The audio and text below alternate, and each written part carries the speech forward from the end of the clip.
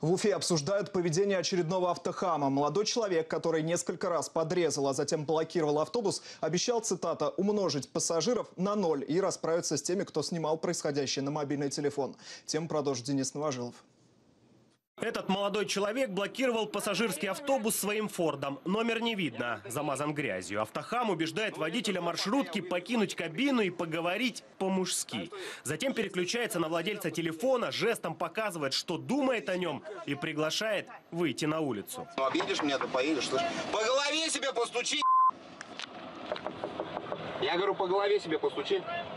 На недовольство пассажиров, опаздывающих по делам, герой ролика не реагирует. Дергает дверь автобуса и весьма оригинально угрожает автору видео. Давайте туман у тебя куда-то выложить, я тебя убью, понял?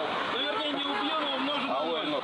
Слышь, клоун, меня нельзя в интернете показывать, понял? Я тебе серьезно говорю. Показали. Фраза «умножу на ноль» сразу же стала интернет-мемом, а ее автор – звездой. Пользователи, которые узнали в этом жителе Уфы 24-летнего Артура Равилова, дали волю фантазии. За несколько дней ролик собрал почти 300 тысяч просмотров. Артура назвали математиком и сравнили с героем старого мультфильма, тоже блеснувшего своими знаниями.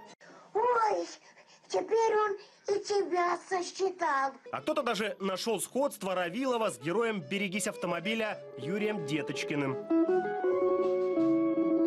Спустя несколько дней свою версию конфликта в одной из интернет-групп озвучил водитель автобуса.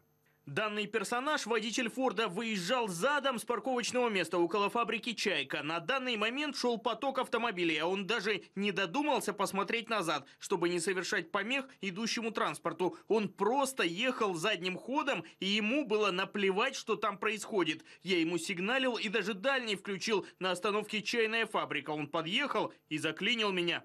По сообщению местных СМИ, истории с умножением уже заинтересовались в республиканской ГИБДД. По некоторым данным, начальник ведомства Динар Гельмудинов пообещал лично проверить правомерность действий участников конфликта. Вот тогда и выяснится, что рассвердила математика в одиночку блокировавшего оживленную улицу. Денис Новожилов, Вести, дежурная часть.